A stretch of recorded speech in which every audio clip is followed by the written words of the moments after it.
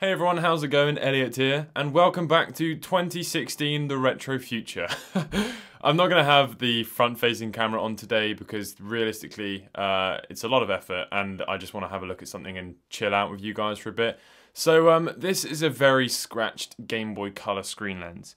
And I'm not expecting that what's going to happen today is going to make this absolutely pristine, but I think this is just a really good uh, sort of test to see what we can get rid of, if anything, with this stuff. So this is Autosol Scratch Remover. Now, I have used Autosol a lot in the past. I used it on uh, my motorbike uh, forks, the chrome part that had some sort of pitting on it from being out in the rain. Um, so I know that Autosol makes very, very good products, but I've never tried their scratch remover. And today, we're going to have a bash because a lot of people have said um, that this actually works for them. So I'm really excited to see if this does, because if it does, then not only have I added a new dynamic of restoration to my video, because I can just polish up every single screen lens, but it also will save me money and also keep the build original, because I won't have to be replacing it with some aftermarket shit. So, this is a survey, and this is not helpful. So where is the instructions? Um, here, I guess. For lacquered coatings and plastic glass surfaces, for use on convertible rear windows, helmet visors, mobile phone displays, watch faces, boats, and fine scratches on lacquered paint. Remove grime and fine scratches. It leaves a shiny, preserving film which provides protection from the weather. Not applicable on surfaces coated with plastic. I don't know if that means that this isn't going to work. All of a sudden, I feel less hopeful. But it says plastic. Maybe this is meant to be for glass. I don't know. Oh no, it's not got a thing on it. Okay, here we go. Right, let's just whack that on sparingly. And I think I'm gonna, I think I'm probably gonna just have a go with some tissue paper first to see if this is actually gonna do anything.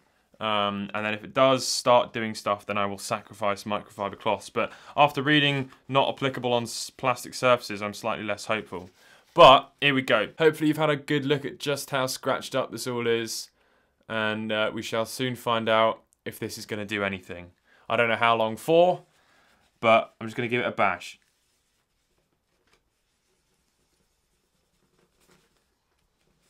Oh, it's very smelly.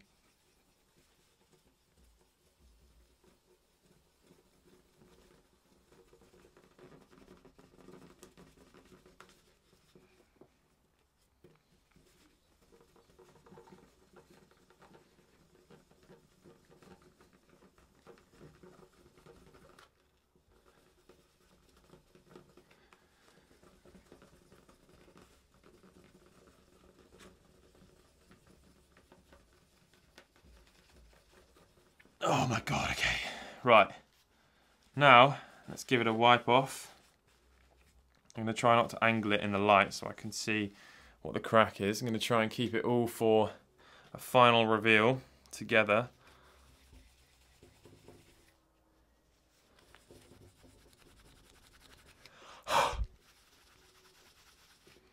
okay, and first evaluation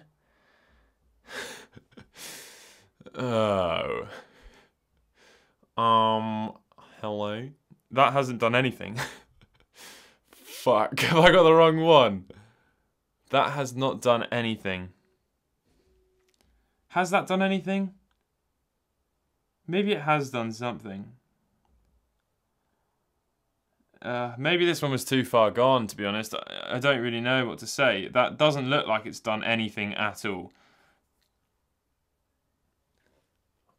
What do I do? Well, shit.